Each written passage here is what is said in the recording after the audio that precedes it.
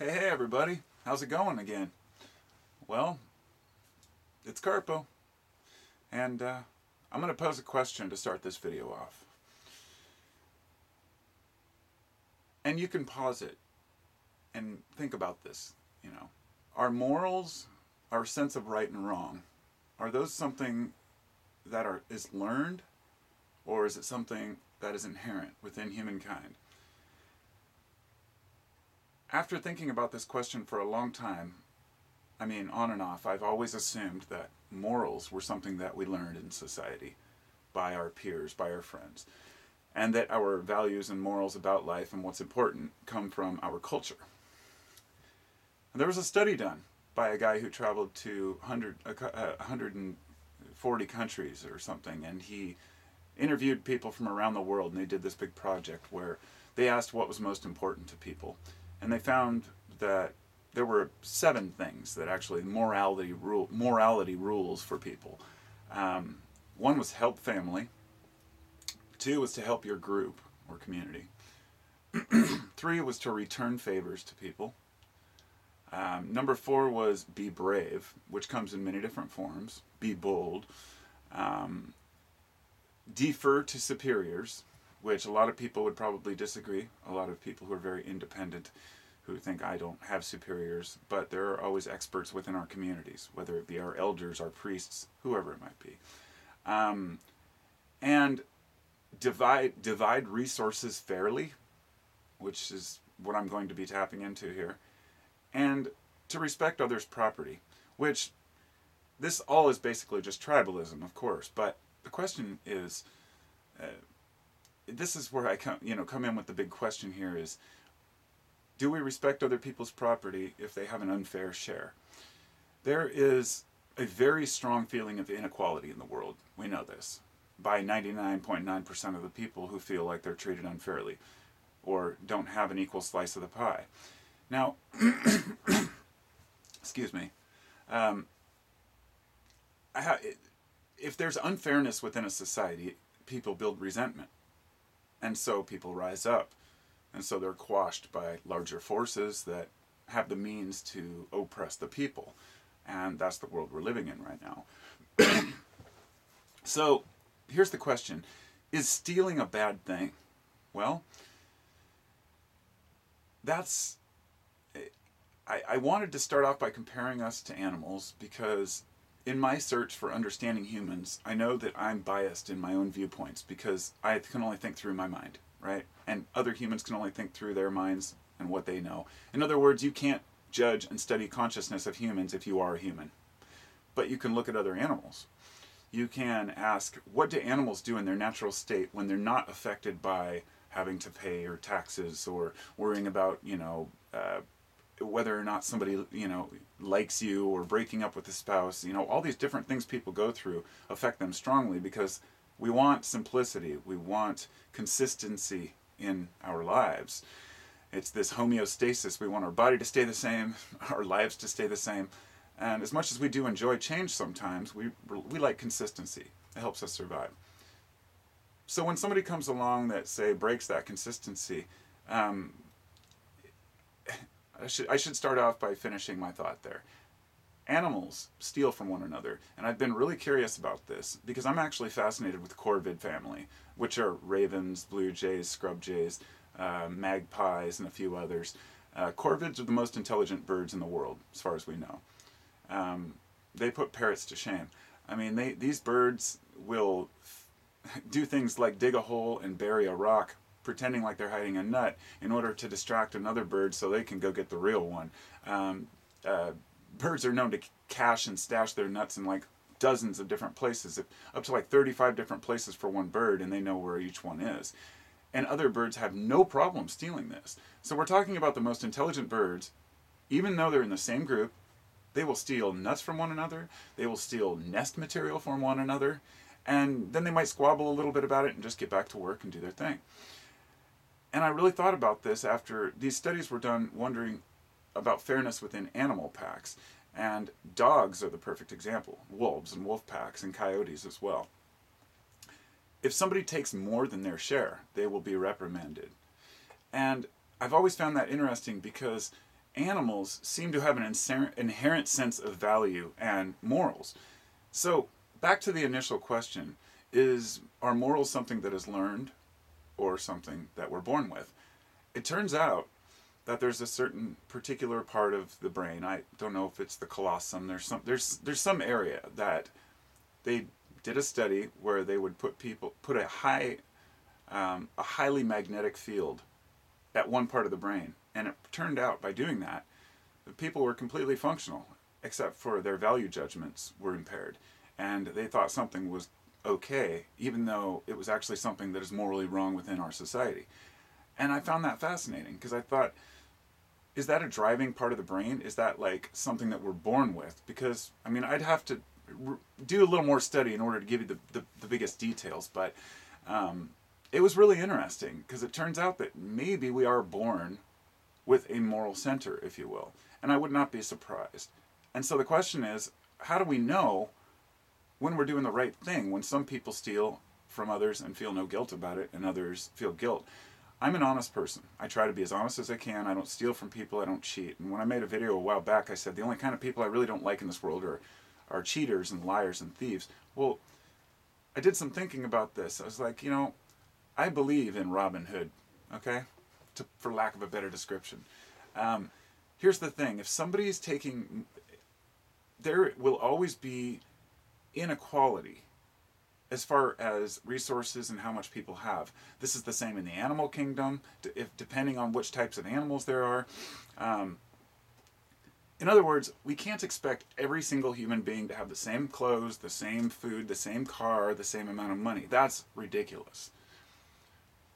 So there will always be variety and, and variation in wealth, which is actually a normal um, a, a normal thing in this society. The problem is that humans don't have the same abilities to acquire wealth and land as they once did. You know, this idea that you can just work hard and get rich is complete bullshit for most people. Because if you're born in a poorer area, you usually die poorer. Um, and what we have now is family wealth, consolidated family wealth, which has been passed down, you know, through generations.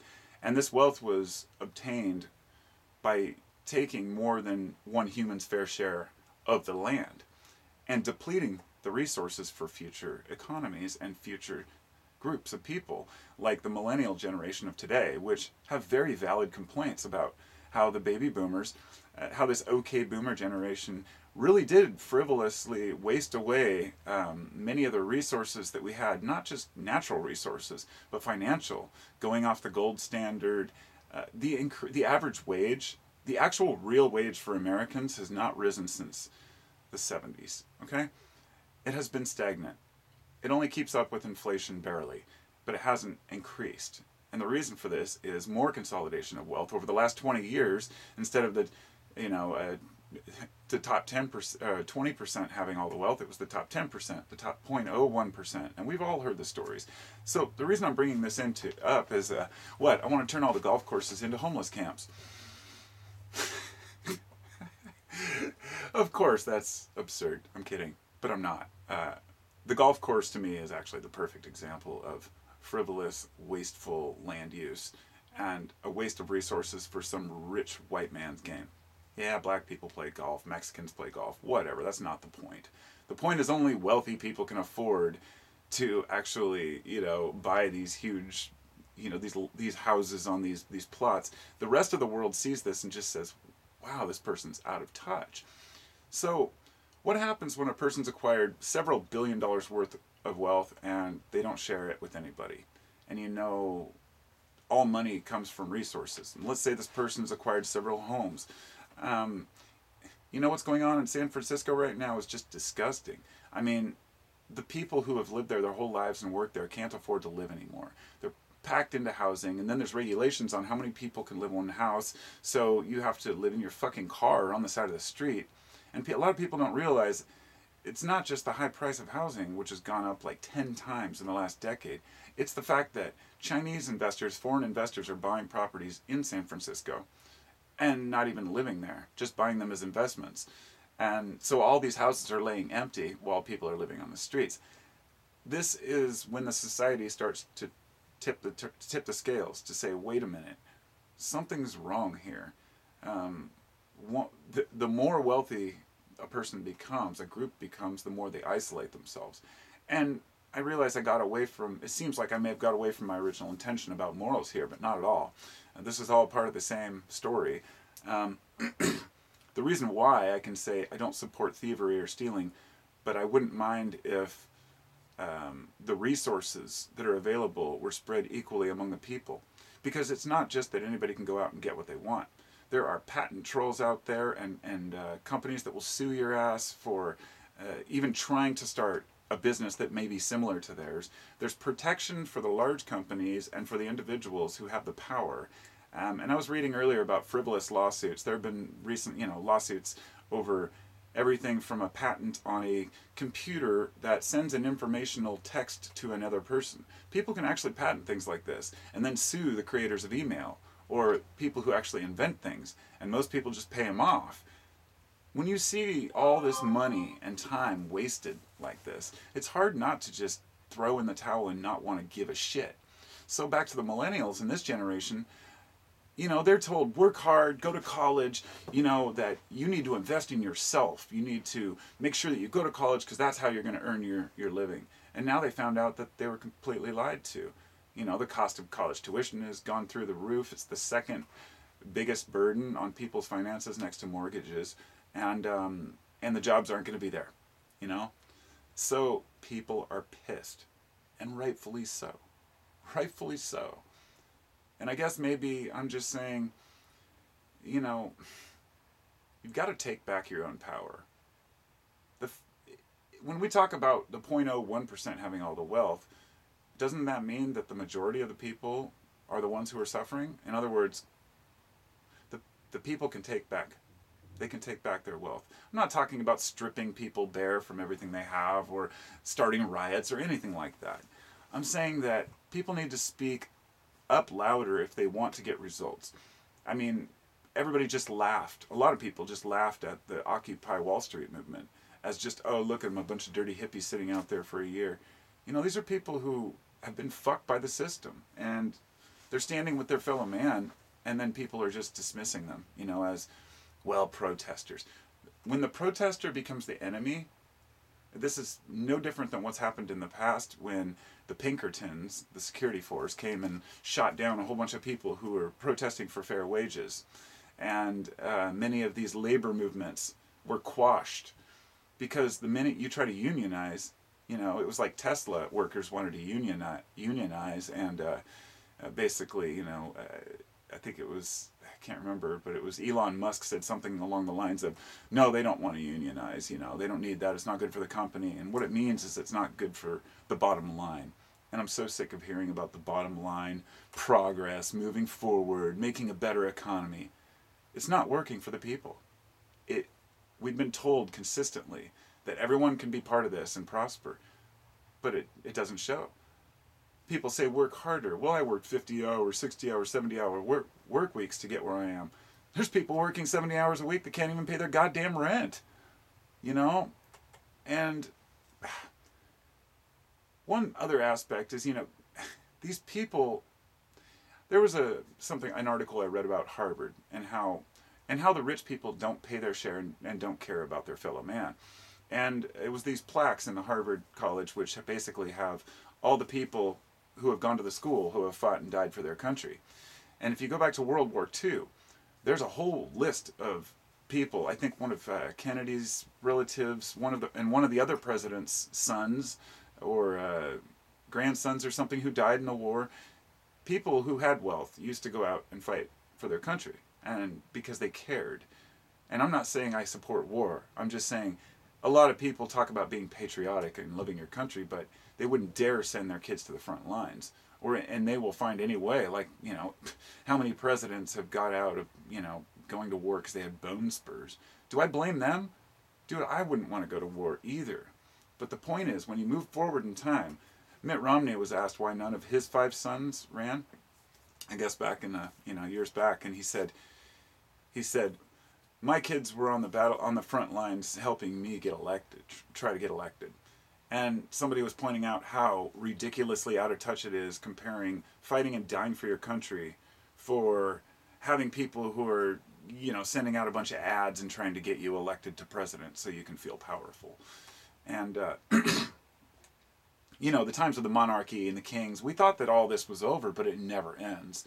It's just a continual progression of a parading of ridiculousness that we all have to be, uh, like as George Carlin said, we all got a front row seat to the freak show, the circus, you know. And uh, he had no idea how bad it would really get. So uh, a lot of people build a ton of resentment, and if they don't see any results for themselves, the whole society falls apart. And when we're faced with what we're facing right now, uh, it's hard to see positivity, but I'm really trying not to be negative about this, but rather say, if you're poor, you have a legitimate gripe. If you work hard, you should be taken care of in your country. And they make it a war on protesters, a war on welfare, a war on, you know, helping people who need a fucking medical bill paid. You know how many people are afraid to go to the doctor because they can't afford the fucking bill? I'm one of them, okay? I don't have health insurance. I can't even sign up for it because I'm on a cusp and it costs me so much. I wouldn't even, it would be ridiculous. And even if I had it, the, the ridiculous copays and uh, the high, it's just not even worth discussing that here.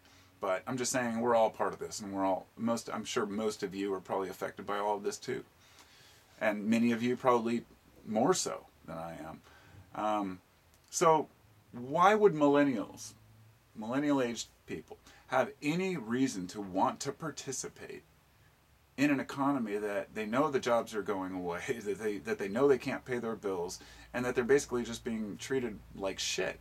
And I'm yeah, I'm standing up for the millennials because you know I joke around about you know different age groups. It's not age groups. Ageism is a foolish notion, but there are certain characteristics within each age group that defines the generation these people grew up in.